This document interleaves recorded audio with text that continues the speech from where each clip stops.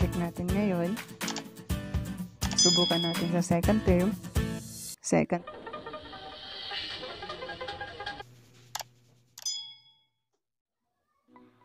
Good day everyone. So in this video, uh, we are going to have uh, how to find the next term of the sequence and how do we formulate the nth term rule.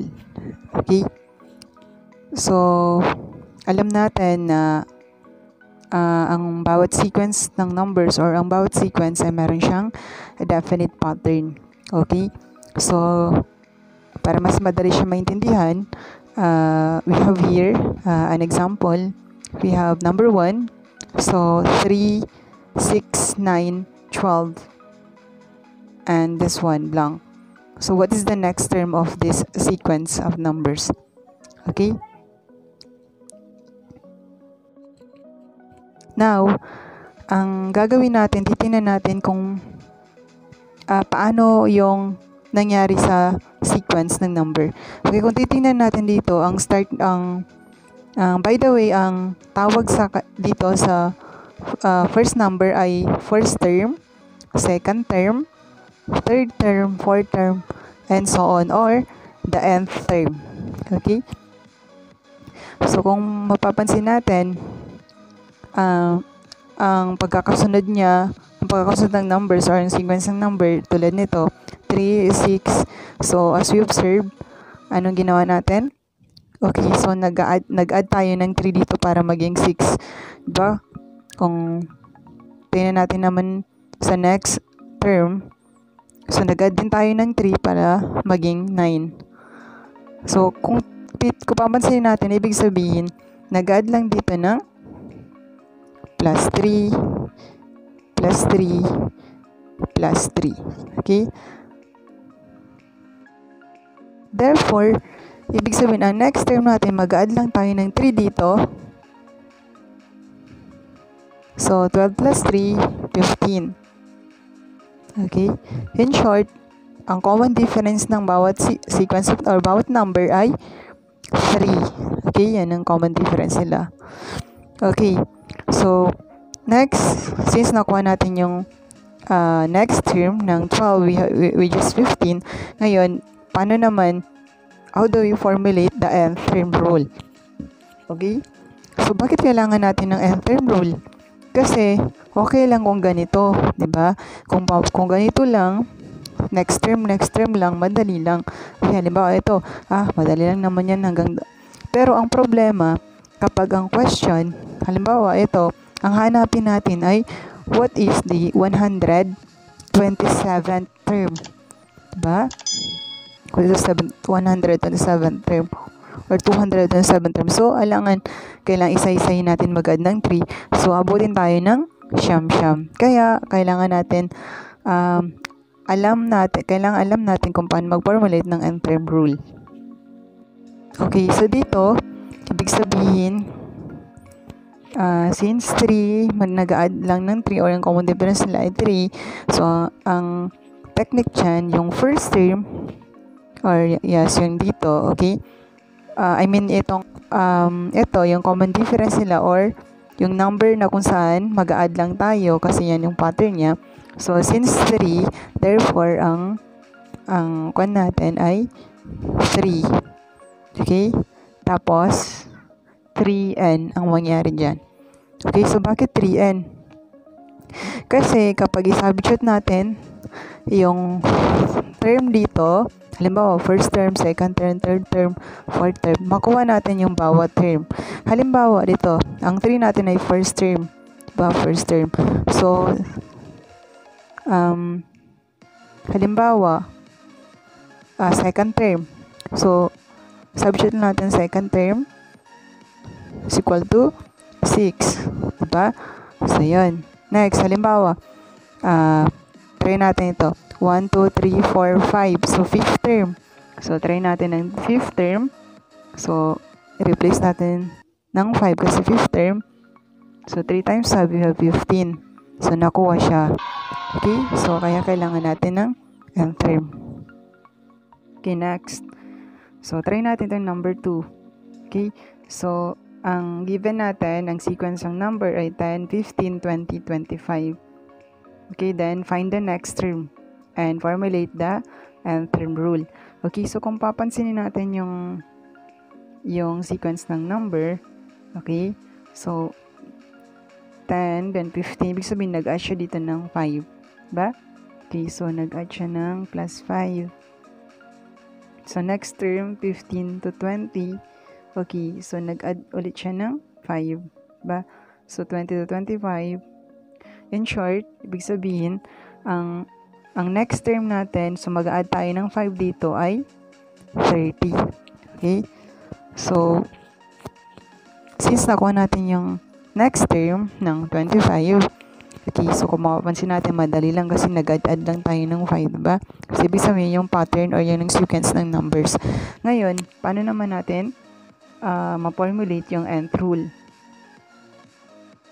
Okay, so, gaya ng ginawa natin kanina, so since nag-add siya ng 5, so, ba ang bawat number, therefore, yun ang magiging hit natin. So, 5, okay, so ito yung magiging 5, then n.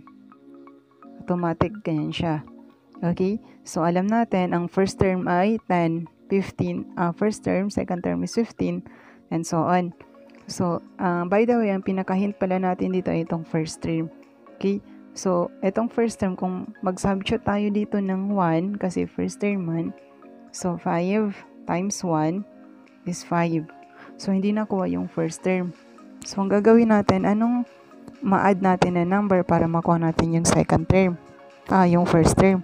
Siyempre, 5, di ba? 5. So, pag mag-add tayo ng 5 dyan, equal to 10. Therefore, ang rule natin, ang nth rule natin ay 5n plus 5. Okay? So, ito ngayon ang magiging nth rule natin. Ngayon, i-check natin. Okay, susubukan natin i-check. Second term. Okay? So, 5n plus 5 So, ang gawin natin, so second term, palitan natin ng 2 plus 5. Tama? Next, 5 times 2 is equal to 10 plus 5. 10 plus 5, 15. Okay? So, therefore, nakuha yon yung second term. So, subukan pa natin i-check. Um, next, term ng 25. So, we have 1, 2, 3, 4, 5. So, fifth term. Subukan natin ng fifth term. So, 5n plus 5. Balitan natin ng 5 yung n. Kasi fifth term plus 5. Diba? Next, 5 times 5 is equal to 25. Bring down 5. 25 plus 5 would be 30. So, therefore, nakuha yon Okay? Okay, so next, we have number 3. Try natin. 7, 9, 11, 13. So, kung ang, ang mapapansin natin sa next term, so, again, uh, find the next term and formulate the nth term rule. Okay, so, na, ang, na, ang mapansin natin sa sequence ng number. So, para maging, para makuha yung second term, nag-add tayo dito ng, okay, 2 plus 2. Tama? So, 9 plus 2, 11. Okay? So, 11 plus 2, 13. So, what's the next term? Mag-add tayo ng, okay, 15. Tama? Okay, 15 since nakuha natin yung uh, next term ng 13, uh, ah, gawin naman natin ay paano natin i-formulate yung um, term rule. So, ang gawin lang natin, we have since nag siya ng 2, so, automatic 2 times n. Okay? So, kung 2n ang first term natin ay 7, kung isubstitute natin ng 1 dito na first term, so 2 times 1 is equal to 2. Tama? So, 2 times 1 is equal to 2.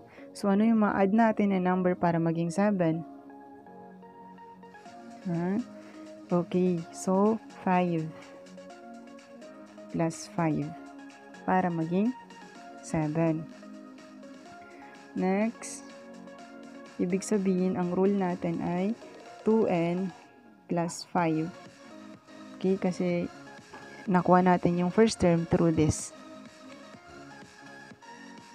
Okay, so next, try natin i-check. Check natin ngayon. Subukan natin sa second term. Second term natin, 2n plus 5. So, substitute natin ng 2 plus 5. 2 times 2 is equal to 2, 4. Then, plus 5 is equal to 9.